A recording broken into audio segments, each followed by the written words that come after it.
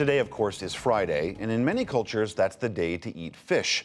But the health of our oceans may be in danger from a different part of the fish industry the booming market for fish oil supplements. Now, Paul Greenberg, author of three books on the fishing industry, offers his humble opinion on why we should simply eat more of the real thing. The average American eats only around 14 pounds of seafood every year, compared to over 200 pounds of meat.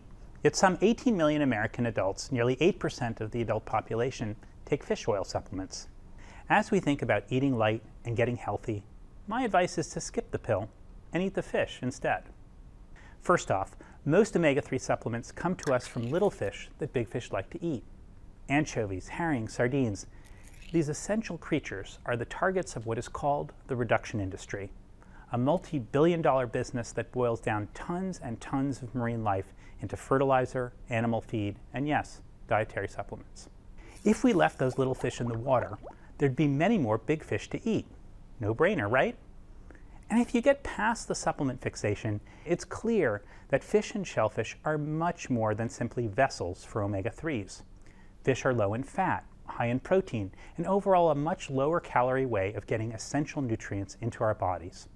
Yes, there are issues with mercury contamination with bigger fish, but it turns out that all those little fish that we normally reduce into supplements and animal feed are some of the lowest in mercury and other pollutants. Perhaps most surprising, seafood, both farmed and wild, turns out to have some profound ecological advantages. Carbon footprint, fresh water use, and conservation of open space all come out better with a seafood leaning diet than a land meat diet. That's because land animals stand while fish float. A large portion of the food we have to feed land animals to bring them to market gets burned up simply by land animals resisting the pull of gravity.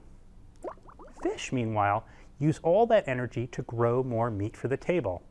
And farmed mussels and oysters are even better. You don't have to feed those guys anything. They get bigger and fatter just by filtering the water. Of course, we shouldn't eat seafood with abandon.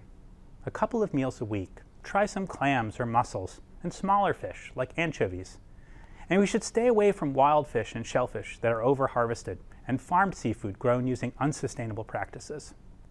After all that, if you feel like you must take a pill, there are now supplements made from much greener alternatives, like algae. In short, get your omegas. Just be principled about it.